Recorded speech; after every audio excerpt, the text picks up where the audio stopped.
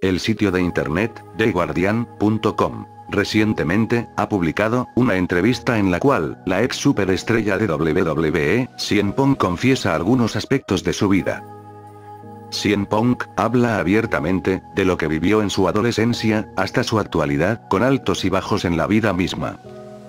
A pesar, de que Cien Pong, en su salida de la WWE, habló mal, de la lucha libre. Lo que dijo, en la siguiente entrevista, hace entender, que dejó atrás, todo ese rencor que traía con la misma.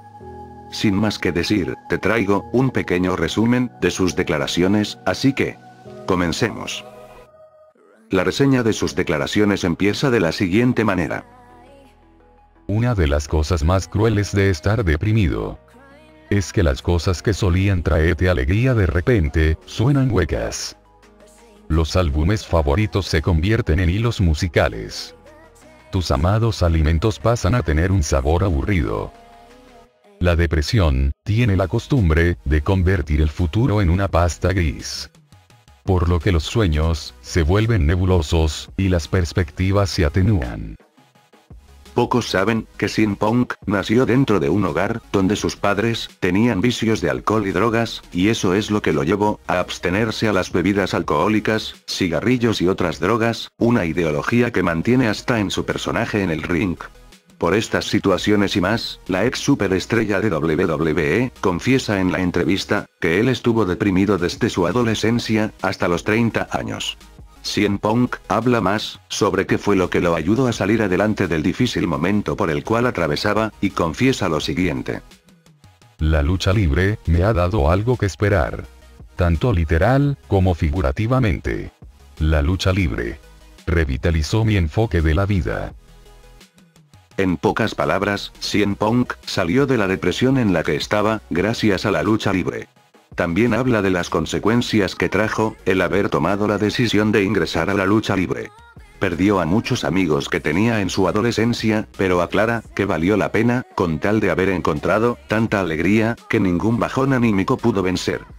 Cien Pong, confiesa, que a pesar, que la lucha libre, es un espectáculo y está bajo un guion, y también los riesgos que esto implicaba cada vez, de subirse al ring, eso poco o nada le importaba, ya que a él, tal como lo dice en su entrevista, no había cosa que le subiera los ánimos, que escuchar un mátate, en medio del ring. Divertidamente, aunque me apartaba de las películas de terror, he desarrollado una sed de sangre, por la lucha libre extrema. El efecto más tangible, que ha tenido la lucha profesional en mi vida, es alentarme, de nuevo al gimnasio. El gimnasio, es una parte enorme de la lucha, para cualquier persona deprimida, que haya oído las palabras. El ejercicio te ayudará, lo sabes, mil veces.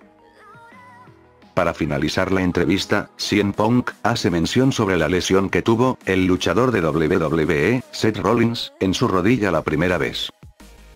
Tuve un desgarro en mi muslo, estuve inmovilizado, y deprimido gran parte del 2016.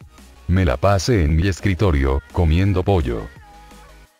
Entonces vi un documental de WWE24, sobre su rehabilitación, luego de sufrir una lesión terrible en su rodilla. Después de verlo gritar durante su rehabilitación, llamé al fisioterapeuta al día siguiente. Ahora, entreno con pesas, 5 veces por semana. Con la meta de ser capaz de levantar el peso de una persona, por encima de mi cabeza en el 2018. Mi estado de ánimo se ha estabilizado, y ahora salgo una vez al día de mi casa, y aunque todo esto no parezca, grandes logros, si lo son, si has estado deprimido, como lo he estado yo.